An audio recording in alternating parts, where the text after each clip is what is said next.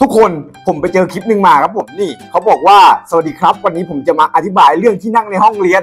จากประสบการณ์ที่เคยเจอ ซึ่งผมเห็นแล้วชอบมาก รู้สึกว่าตรงประมาณ 80%เลยนะอะ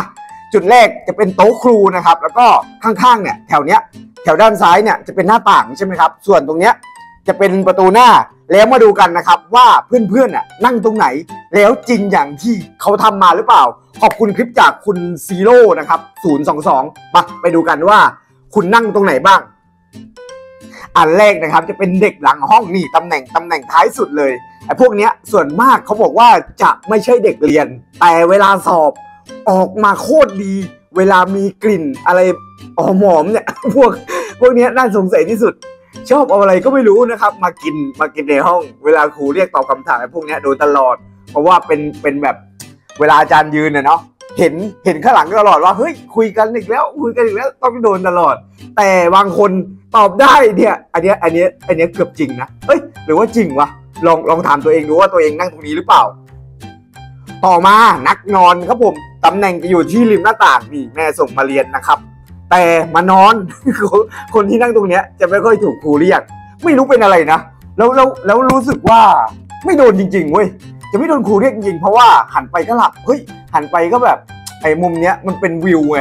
มันเป็นวิวแบบวิวหน้าต่างอะแต่ไม่โดนไม่ค่อยโดนเรียกนะอันนี้ค่อนข้างจะจริงเนี่ยค่อนข้างจะจริงใครนั่งตรงนี้บ้างตำแหน่งต่อมาไอ้ตรงเนี้ยโอ้โห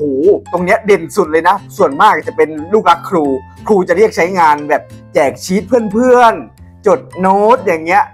เนี่ยคนที่นั่งตรงนี้จะเป็นนักเรียนที่ที่รักของครูเอ้ยจริงๆนี่ยังไม่ทันอ่านเลยนะครับส่วนใหญ่จะยกมือตอบ อืมใครนั่งตรงนี้บ้าง ใครนั่งตรงนี้บ้าง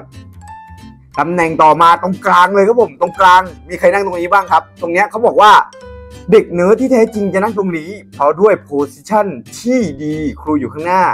กระดานอยู่อยู่ไม่ไกลทำให้ไม่หลุดโฟกัส เออ ตรงเนี้ยจะเรียนเก่งส่วนมากจริง แถวกลาง เฮ้ย เดี๋ยวก่อน มัธยมนี้มี 3 แถวอย่างนี้จริง ๆ นะ ตอนตอนตอนผมเรียนอะตอนพี่เมนเรียนอะ มี 3 แถวจริงๆ มีใครนั่งตรงนี้ไหมครับ อันต่อมานักเดินทางรู้สึกว่าตำแหน่งตรงเนี้ยจะไม่ค่อยอยู่นะเนี่ยตำแหน่งพวกนี้เข้าเรียนสายจะชอบมานั่งที่สุด มันติดประตูเออไม่ค่อยอยู่จริงแล้วคือนะ เวลาเวลามีอาจารย์คนอื่นมาขอความช่วยเหลือนะแถวตรงเนี้ยจะโดนตลอดริมหน้าต่างเนี่ยจะโดนตลอด แบบไปช่วยนู่นช่วยนี่อะอาจารย์อาจารย์ก็จะมาขอช่วยอะไรประมาณนี้นะครับนี่แล้วเออเก่งกีฬาอันนี้คือเรื่องจริง รู้สึกว่าเป็นไปได้นี่ประมาณ 70-80%เลยนะ มีใครนั่งตรงนี้บ้างครับ อะตำแหน่งสุดท้าย NPC NPC เนี่ยจะรู้สึกว่าจะเป็นเป็นที่